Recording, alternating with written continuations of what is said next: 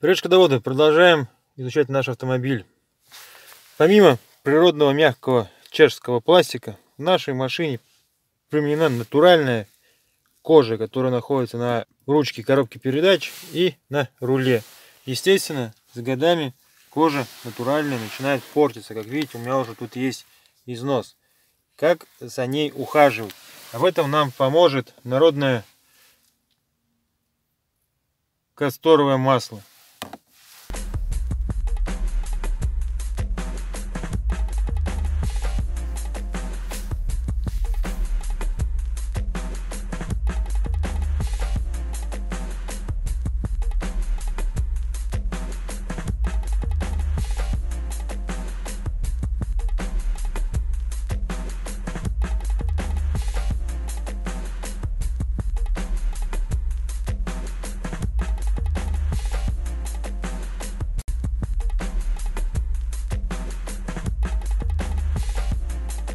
Меняем ватные диски и обильно наносим касторовое масло на наше кожаное изделие. Потому что старший у меня таким способом укрепляет ресницы и веки глаз. За кожей надо ухаживать. Сейчас дам им впитаться, высохнуть, потом излишки уберем салфеточкой. Смотрим, что будет на утро. Ставим на ночь обработку. Итак, вчера мы смазали ручку касторовым маслом. Как видите, ручка у нас такая жирненькая. И имеются излишки. Излишки вытираем салфеткой. Как говорится, кожа, что себя взяла, то взяла. Еще раз все вытираем.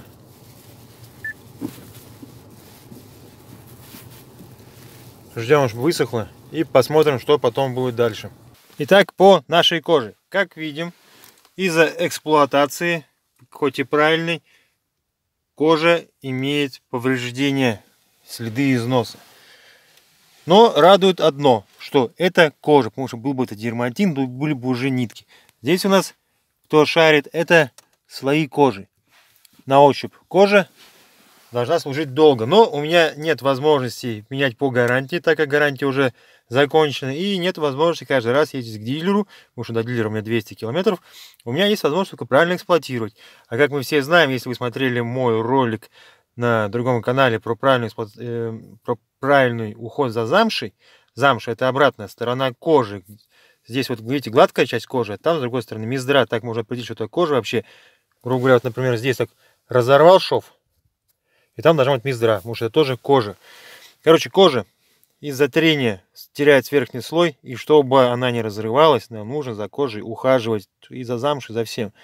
И вот самый простой способ это касторовое масло за 30 рублей. Мы наносим масло, грубо говоря, кожа вберет в себя впитательные элементы, потому что мы знаете, если вы не будете ухаживать, например, за кожаной обувью, то она будет трескаться, поплывет и лопнет. То же самое здесь. Но в такой момент, после того, как я удалил излишки масла, первое время кожа стала такой шершавой. Как говорится, поры раскрылись, стало чище. Сейчас снова вернулся полированный, так сказать, слой. Рука полирует кожу. Кожа снова теперь гладкая, приятная. Запаха касторового масла нету.